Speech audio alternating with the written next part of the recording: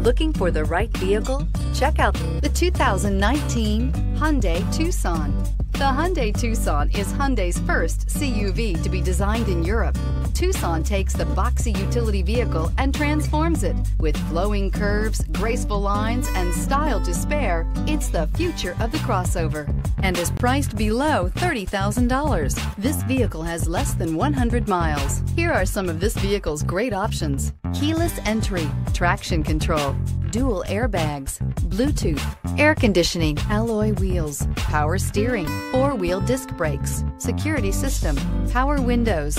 This isn't just a vehicle, it's an experience. So stop in for a test drive today.